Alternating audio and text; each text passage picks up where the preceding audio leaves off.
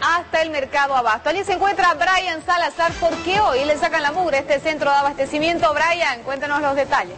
¿Cómo le va Beatriz? Buenos días. Estamos efectivamente donde normalmente estaban los puestos con verduras y que hoy está despejado porque desde ayer que se ha iniciado la limpieza en este mercado de abasto, cabalmente de nombre abasto, mercado campesino era su nombre original, acá sobre el tercer anillo externo de la avenida Piraí. Y como se observa, ya se han retirado eh, los diferentes soportes que tienen los puestos eh, de las que comercializan los diversos productos. En breve va a llegar el cisterna para echar agua con ACE, y empezar a reestrujar y a lavar toda la mugre, toda la suciedad que hay en este mercado y posteriormente se va a proceder a la fumigación para matar el tema de los roedores y otros insectos que también abundan cuando hay bastante suciedad. Brian, observamos ahí algunos eh, puestos que están cerrados. Imaginamos que hoy, para la gente que va a hacer compras a este centro de abastecimiento, no habrá atención al público.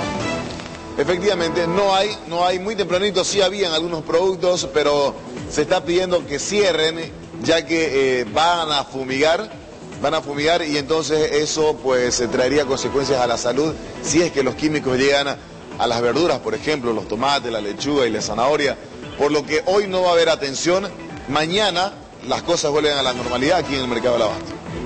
Bien, también eh, conocemos que en anteriores oportunidades los comerciantes colaboran con la limpieza. Hoy me imagino no será la excepción. Sí, en realidad eh, los comerciantes son la parte principal en la limpieza porque ellos tienen que limpiar la parte de su puesto. Ya la alcaldía o los funcionarios de la alcaldía pasarán por las calles principales y también van a estar eh, limpiando, pero parte importante va por la cuenta de los comerciantes. Bueno, en este momento observamos que está algo sucio, le cuento Brian. Vemos ahí basura, además ha estado lloviendo, eso también perjudica. Sin embargo, la cara del eh, centro de abastecimiento, el mercado abasto, irá cambiando en el transcurso de las horas y ya mañana todo vuelve a la normalidad, ¿no es cierto?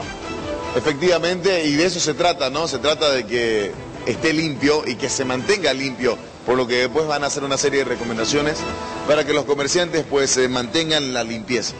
Tome sus previsiones entonces, hoy no hay atención en el mercado abasto. Gracias Brian por el contacto. Buen día.